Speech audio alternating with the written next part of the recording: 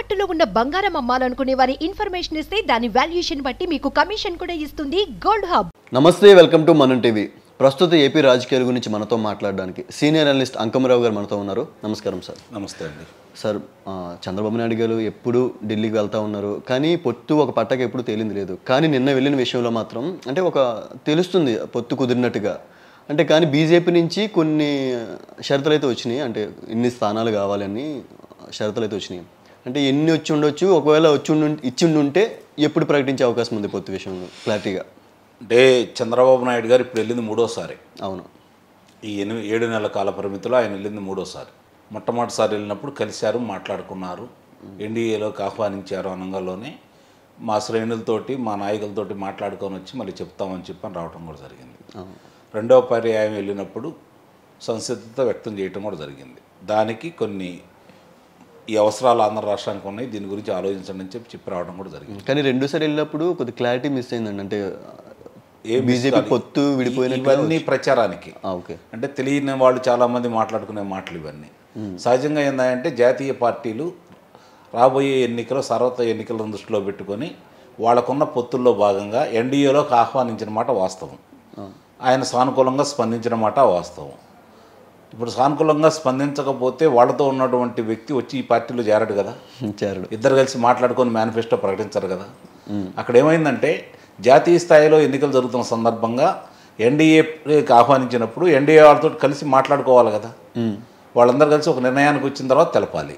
ఇప్పుడు ఈరోజు మీరు అన్నట్టు ఈయన వెళ్ళినప్పుడే భారతీయ జనతా పార్టీ అని వీళ్ళిద్దరు కలిశారు అనంగంలోనే ఎన్నికల్లో ఎన్ని సీట్లు ఏంటనేది రావాలి కదా లెక్క?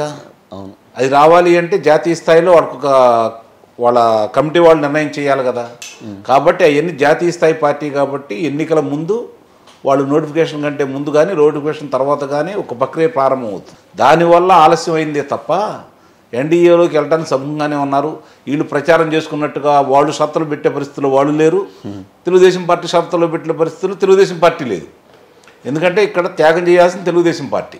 కాబట్టి వీళ్ళు షరతులు పెడతారని భావించ భారతీయ జనతా పార్టీ వాళ్ళు తెలుగుదేశం పార్టీకి షరతులు పెట్టారని భావించాల్సిన పని లేదు. అలాగే ఇప్పుడు జరుగుతున్నటువంటి పరిణామాలు దృష్టిలో పెట్టుకున్న తర్వాత ఇప్పుడు ఒకటి ఆలోచించండి. జనసేన తెలుగుదేశం పార్టీ కలిసిన తర్వాత వైఎస్ఆర్సీపీ పార్టీ నాయకులు లేరు. మీరు రాసి పెట్టుకోండి. వైఎస్ఆర్సీపీ పార్టీకి నాయకులు లేరు. అందరూ వచ్చి కలిసిపోతా ఉన్నారు. తెలుగుదేశం పార్టీలోనే జనసేన పార్టీలోనే. కార్యకర్తలు లేరు. వాళ్ళు వచ్చి కలిసిపోతా ఉన్నారు. వాళ్ళకి ఓటర్లు లేరు ఈరోజు. వాళ్ళు వచ్చి కలిసిపోతా ఉన్నారు. ఖాళీ అయిపోతుంది వరుసగా ఖాళీ అయిపోతా ఉంది. ఓ పక్కన అండదండలు అంత చేసిన కేసీఆర్ గారు లేరు. ఇప్పుడు వాళ్ళకున్నది ఏంది? డబ్బు వ్యవస్థ. ఆ వ్యవస్థని అండదండలుగా ఇప్పుడు దాకా భారతీయ జనతా పార్టీ ఉండాలన్న భ్రమలో ఉన్నారు వాళ్ళు. ఇప్పుడు అది కూడా లేదనుకోండి డబ్బు. డబ్బు ఒక్కటే ప్రామాణికం కాదు కదా ఇక్కడ? దానికోసం మాత్రమే తెలుగుదేశం పార్టీ రాష్ట్ర ప్రయోజనాలను దృష్టిలో పెట్టుకొని ఈరోజు చంద్రబాబు నాయుడు గారు రాష్ట్రం పార్టీ రెండుని దృష్టిలో పెట్టుకొని ఆయన ముందుకెళ్ళారనుకుంటే నిస్సందేహంగా రాష్ట్రం దృష్టిలో పెట్టుకొని వెళ్ళాడు. పార్టీని దృష్టిలో పెట్టుకొని ఆలోచిస్తే ఈరోజు నష్టపోయే తెలుగుదేశం పార్టీయే కదా ఇక్కడ. కానీ రాష్ట్ర ప్రయోజనాలు. ఆ రోజు కూడా బయటకు వచ్చింది రాష్ట్ర ప్రయోజనాలు దృష్టిలో పెట్టేకొనే కదా. రాష్ట్రం కోసమే కదా బయటకు వచ్చింది. ఆయన స్వార్థం కోసం బయ బయ- బయటికి రాడు కదా. అవతల ప్రధానమంత్రిని ఎదుర్కొనే ఎదుర్కోవాలి అంటే మరి పార్టీ నష్టపోయిద్దని తెలుసు కదా ఆయనకి. అవును. కేంద్రంలో అధికారంలో ఉన్న వాళ్ళని సంవత్సరం ముందు సంవత్సరంన్నర ముందే బయటకు వచ్చాడు కదా. కాబట్టి మాట్లాడుకోవడానికి ఏదో చాలామంది చాలా రకాలుగా మాట్లాడుతూ ఉంటారు. తెలుగుదేశం పార్టీ ఏ రోజైనా బహిరంగానే పొత్తు పెట్టుకుందే తప్ప వీళ్ళలాగా లోపాయికారిగా ఎప్పుడు చేయలేదు కదా. అంటే ఇప్పుడు తెలుగుదేశం నష్టపోతుంది అన్నారు కదండి ఎలాగో ఆరు ఆరు ఎమ్మెల్యే సీట్లు నాలుగు ఎంపీ సీట్లు అంటే అక్కడ కూడా నష్టపోతుంది కదా బాగా. అంటే అంటే ఇక్కడ అవకాశం అయితే ఉందంటారా? ఇక్కడ ఆరు వాళ్ళకిచ్చే ఆరుగులో శాసనసభ స్థానాల్లో నాలుగు పక్కాగా గెలిచే అవకాశం ఉంది. అందుట్లో ఎలాంటి సందేహం కూడా లేదు. అలాగే లోక్సభ స్థానాలు నాలుగు అనుకుంటున్నారు. అందుట్లో రెండు రెండు కానీ మూడు కానీ గెలిచే అవకాశం కూడా ఉంది. ఓకే. కాబట్టి అది తెలుగుదేశం పార్టీ అయినా గెలిచినా కూడా త్యాగం చేయాలనుకున్నప్పుడు కలిసి ప్రయాణం చేయాలనుకున్నప్పుడు ఈ రోజు రాష్ట్రం అప్పులు కుప్పలుగా మారిన ఈ పరిస్థితుల్లో అంటే ఇప్పుడు ఏంటంటే తెలుగుదేశంలో సీనియర్ నాయకులు ఉన్నారు ఆ ఏరియా నుంచి. మరి వాళ్ళు ఒప్పుకునే అవకాశం ఉండదు కదా. వాళ్ళు తిరగబడే అవకాశం కూడా ఉండదు అంత అంత లేదండి. ఇప్పుడు ఉన్న పరిస్థితుల్లో ప్రస్తుతం తెలుగుదేశం పార్టీకి అనుకూలంగా వీస్తున్న పవనాల మధ్య వాళ్ళు తెలియగల వాళ్ళు కాకపోతే వాళ్ళు బెదిరించి కొంతమంది నాయకులు ఇప్పుడు దాకా ఎట్టయితే పబ్బం గడుపుకున్నారో రేపు కూడా అలాగే ఒక రాజ్యసభ ఒక శాసన మండలి గాను ఏదో ఒక హామీలు తీసుకొని ఆ బెట్టు కోసం ప్రయత్నం చేస్తారే తప్ప ఇవాళ పార్టీని చూసి ఓట్లేస్తారు చంద్రబాబు నాయుడు గారిని చూసి ఓట్లేస్తారు. వ్యక్తుల ప్రాబల్యం కొన్ని చోట్ల ఉంటుంది కాదని అంటల్లా ఉమ్, అదే. వీళ్ళు ఆ పార్టీకి వెళ్తే ముందెళ్ళిన వాళ్ళ పరిస్థితి ఏందో వీళ్ళకి తెలుసు కదా. కాబట్టి అంత సాహసం చేస్తారని అయితే నేను అనుకోవట్లేదు. సార్ అది కాదు ఇప్పుడు బీజేపీకి టీడీపీకి ఫుల్ సపోర్ట్ ఇచ్చేస్తుంది. మరి ఇటు వైసీపీ పరిస్థితి ఎలా ఉంటుంది సార్ ఇంకా ఐపీలో? ఎవరు అనుకుంటారు రేపు పొద్దున వైసీపీ గురించి? చెప్పండి. నేను ఇందాక చెప్పాను కదా నాయకులు లేరు వాళ్ళ శ్రేణులు లేరు ఓటర్లు లేరు. ఎవరున్నారు వాళ్ళకి ఇప్పుడు? అంటే అట్లీస్ట్ కొన్ని సీట్లన్నా వస్తాయి కదా సార్ నాకు తెలిసి. నాకు తెలి నాకు తెలిసి అయితే పది స్థానాలు లోపే వస్తాయి. మరి అన్ని తక్కువ వస్తాయి? మీకు అనుమానం లేదు రాసి పెట్టుకోండి ఈ రోజు లేదు సార్ వైసీపీకి బాగా స్ట్రాంగ్ ఉందండి మీకు ఎక్కడ. చెప్పండి ఎక్కడ. పదికి పది వచ్చిన నెల్లూరు పరిస్థితి ఏంటి? ఇప్పుడు పది పది తెలుగుదేశం పార్టీ వచ్చే పరిస్థితి కనపడుతుంది. పదికి పది వచ్చిన కడప పరిస్థితి ఏంటి? ఆయనే స్థానానికి మారుతున్నాడు అంటున్నారు. అవును. అక్కడ పరిస్థితి ఏంటి? పదిహే పద్నాలుగు పద్నాలుగు వచ్చినటువంటి కర్నూలు పరిస్థితి ఏంటి. తొమ్మిదికి తొమ్మిది వచ్చిన విజయనగరం పరిస్థితి ఏంటి? సార్ ఇంకొకటి ఒకవేళ ఇంత చేస్తున్నారు కదా వైసీపీ గెలిస్తే పరిస్థితి ఎలా ఉంటుంది సార్ ఏపీలో? ఏమైంది? ఇంకా టీడీపీ పరిస్థితి ఏమైంది? ఏమీ కాదు. తెలుగుదేశం పార్టీ గెలిస్తే వైసీపీ ఉండదు కానీ వైసీపీ గెలిస్తే అంటే ఏమవుతుంది టీడీపీ వాళ్ళు? వైసీపీ వాళ్ళు ఏమంటున్నారంటే ఈసారి వైసీపీ రూలింగ్లోకి వస్తే ఇంకా టీడీపీ లేకుండా చేస్తామని ఇంకా బహిరంగంగా చెప్తున్నారు. ఇరవై మూడు స్థానాలు వచ్చినప్పుడే ఏం బేకలేకపోయారు రేపు పొద్దున ఒకవేళ ఓడిపోయే పరిస్థితి వచ్చినా కూడా డెబ్బై ఎనిమిది స్థానాలు అయితే వస్తుంది. అప్పుడేం బీగుతారు వాళ్ళు? చెప్పండి. అంటే గెలిచే అవకాశం ఉందంటున్నారు వైసీపీ అయితే. వైసీపీ గెలిచే మాట మర్చిపోండి మీరు. మీరు చెబుతున్నారు కాబట్టి చెబుతున్నాను నేను. ఓకే. ఎందుకంటే వచ్చే నష్టం లేదు. తెలుగుదేశం పార్టీకి నష్టం లేదు ఇక్కడ. తెలుగుదేశం పార్టీ ఏమీ కాదు. భారతీయ జనతా పార్టీకి తెలుగుదేశం పార్టీకి మూడు సంవత్సరాల తేడా.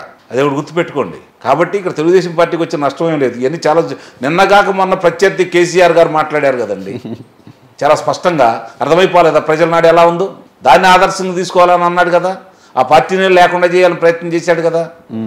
మరి ఈరోజు అతనే మాట్లాడాడు అంటే దాని పరిస్థితి అర్థం చేసుకోవాలి కదా మనం. ఇప్పుడు కేసీఆర్ పరిస్థితి బాగాలేదులేండి. అదే చెప్పేది అతనే మాట్లాడాడు అంటే అతనికి అర్థమైపోయింది కదా ఓటమి అయిపోయిన తర్వాత. ఎన్నో మంచి పనులు చేసిన ఆయనే ఓడిపోతే ఇన్ని రాష్ట్రాన్ని ఇంత ఇబ్బంది పెట్టిన జగన్మోహన్ రెడ్డి గారు గెలుస్తారని ఎలా భావిస్తున్నారు మీరు? నూట పంతొమ్మిది స్థానాల్లో నూట పంతొమ్మిది స్థానాల్లో ఉన్న తెలంగాణ ప్రాంతంలో వంద స్థానాలు పైన ఉన్నటువంటి బీఆర్ఎస్ పార్టీ ఓడిపోయింది. ముప్పై తొమ్మిది స్థానాలకు పరిమితం అయిపోయింది. అవును. మంచి పనులు చేసి ఎంతో కొంత. నిస్సందేహంగా నేను చెప్తున్నాను. చేశారండి. కుటుంబ పరంగా ఇబ్బందులు వాళ్ళు ఎవరితోటి మాట్లాడలేదు నియంతగా వ్యవహరించారు అహంకారంతో ప్రవర్తించారు అనేది ఎంత వాస్తవం ఎంతో కొంత పనులు చేశారు అనేది కూడా అంతే వాస్తవం కదా. మరి ఏమి పనులు చేయనటువంటి వైసీపీ పార్టీ గురించి ఇంకా ఆలోచించాల్సింది అంటే ఒక భ్రమలో ఉన్నారు. అది కాదు సార్ ఇంకొకటి. మాయలో ఉన్నారు అంత తప్ప వేరేం లేదు. చిన్న డౌట్ వచ్చింది సార్. అప్పట్లో చంద్రబాబు నాయుడు కొన్ని ఇమేజ్లు అమరావతి ఇమేజ్లు చూపిస్తే అంతా గ్రాఫిక్స్ గ్రాఫిక్స్ అన్నారు కదా సార్. కానీ మొన్న నిన్న మన జగన్మోహన్ రెడ్డి గారు ఒక టవర్ని చూపించారు. దాని గురించి ఎలా సార్? అంటే అప్పుడు చూపించింది అంటే నమ్మలేదు కానీ జనం ఇది నమ్ముతారనే అవకాశం ఉందంటారా ఏపీలో? అది కాదండి. నిన్నగాక మొన్న కుప్పానికి నీళ్ళు ఇస్తున్నా అని చెప్పని గేట్లు కూడా అమర్చి తీసుకెళ్ళారంటే ఇక వాళ్ళ గురించి ఎవరు మాట్లాడుకుంటారు? అదే కదా నేను అనేది. ఇప్పుడు వాళ్ళు ఒకసారి ఇప్పుడు నానా పులిస్ ఆమె తెలుసా మీకు? చదువుకున్నారు మీరు పుస్తకాల్లో? తెలుసు తెలుసండి. ఒకసారి మీరు చెప్పండి. ఇప్పు- ఇప్పుడు పరిస్థితి ఒకసారి చెప్పారు. ఏది? కోడికత్తే విషయంలో చంద్రబాబు నాయుడు గారు జయించారని చెప్పి ఒకసారి చెప్పాడు. ఒక నానాపులి అయిపోయింది. రెండోసారి నారాసుర రక్త చరిత్ర అని చెప్పని వివేకానంద రెడ్డి హత్య గురించి చెప్పారు. రెండోసారి కూడా అయిపోయింది. ఇక మూడోసారి ఏమి లేదు. మింగేసిది వచ్చి పులి. అది. ముంగేస్తుంది అంటారా అంతే. జరిగేది అంతే అంత తప్పు వేరే ఉంటుంది. Okay sir okay sir. నిస్సందేహంగా ఇక్కడ రెండో ఆలోచన అనేది లేదు. ప్రజలు ఏకోముఖులై ఉన్నారు కార్యదీక్షతో ఉన్నారు సంకల్పంతో ఉన్నారు కోపంతో ఉన్నారు ఆవేశంతో ఉన్నారు. ఇన్ని కలిసిన తర్వాత ఇంకా ఆ పార్టీ గురించి ఆలోచించే ప్రశ్నే లేదు. సార్ ఒకటి ఋషికొండ గురించి మనం ఇంతకు ముందు చాలా మాట్లాడుకున్నాం. అంటే కొండను కొట్టేశారు బిల్డింగ్లు కూల్చేశారని. కానీ అదే కొండ మీద ఇప్పుడు టూరిజం స్పాట్ కట్టాను అంటున్నారు. అంటే ఇప్పుడు మాట్లాడిన వాళ్ళకే ఎదురుగా మేము నిరూపించి చూపించాం అభివృద్ధి అంటే ఇదని చూపిస్తున్నారు. దాని గురించి మీరేం మాట్లాడారు సార్? ఇప్పుడు వారు పర్యాటక సంబంధించి కట్టారని కదా మీరు చెప్తున్నారు. అవును. మరి ఎవరికి తెలియకుండా మామూలుగా దానికి ఇంత ఆర్భాటం చేసి లక్షల్లో జనాన్ని పోగేసి బటన్ నొక్కే ఈ బటన్ మంత్రి ముఖ్యమంత్రి గారు అంతగా గొప్పగా పర్యాటక ప్రాంతంగా అభివృద్ధి చెందే విధంగా పర్యాటక కేంద్రంగా తీర్చిదిద్దాలనుకున్నటువంటి ఋషికొండ ప్రాంతంలో కట్టడాల గురించి ఎవరికీ తెలియకుండా ఎవరిని పిలవకుండా పాత్రికేయులను పిలవకుండా ప్రసార మాధ్యమాలను పిలవకుండా అంత లోగుట్టుగా ఎందుకు ప్రారంభోత్సవం చేసుకున్నాడో దాన్ని బట్టి అర్థమైపోతుంది కదా. ఆయన ప్యాలెస్ కట్టుకున్నాడా లేకపోతే పర్యాటక కేంద్రం కట్టుకున్నాడా అని? ఇంకోటి అప్పట్లో ఉన్న అక్కడ లోకల్ లీడర్స్ కూడా చెప్పారు. అంటే ఇల్లు కట్టుకుంటున్నాడు తప్పు ఏంటి? రోజా గారు కూడా అన్నారు ఇల్లు కట్టుకుంటున్నారు తప్పు మరి ఆమె ఎందుకు? న్యాయస్థానాలకు ఎందుకు తప్పుడుగా దాన్ని ఇప్పుడు ఎందుకు టూరిజం స్పాట్గా అదే చెప్పేది ఆ? రోజు మాట్లాడిన వాళ్ళు న్యాయస్థానాలకు మళ్ళీ వెళ్ళి మీ బాంఛం ధర అన్నట్టు వెళ్ళేసి లేదండి ఇది పర్యాటకమే మీ అనుమతులు లోబడే కడుతున్నామని చెప్పని చెప్పని తప్పుడు అప్పుడు వీటిలో ఎందుకు ఇచ్చారు? ఈ రోజు ఎందుకు మాట్లాడుతున్నారు? అంటే న్యాయస్థానం ముందు పిల్లి బయటకు వచ్చిన తర్వాత పుల్లా మీరు. అర్థమైపోతా ఉంది కదా మీరు? వచ్చిన. తర్వాత. అదే కాబట్టి ఇక ఆ పార్టీ గురించి ఆ నాయకుల గురించి మనం మాట్లాడుకోవాల్సిన అవసరం లేదు. ఇక ఈ ఎన్నికల తర్వాత. వైఎస్ఆర్సీపీ పార్టీ అనేది కనుమరుగై పోతుంది. అందుట్లో ఎలాంటి సందేహం అయితే లేదు. కాస్త కోసం సరిమిలా బయటకు వస్తుంది అయితే ఇక ఎవరు వస్తారనేది వేరే విషయం. ఈ పార్టీకి మాత్రం భవిష్యత్తు లేదు ఆంధ్ర రాష్ట్రం thank you sir thank you so much thank you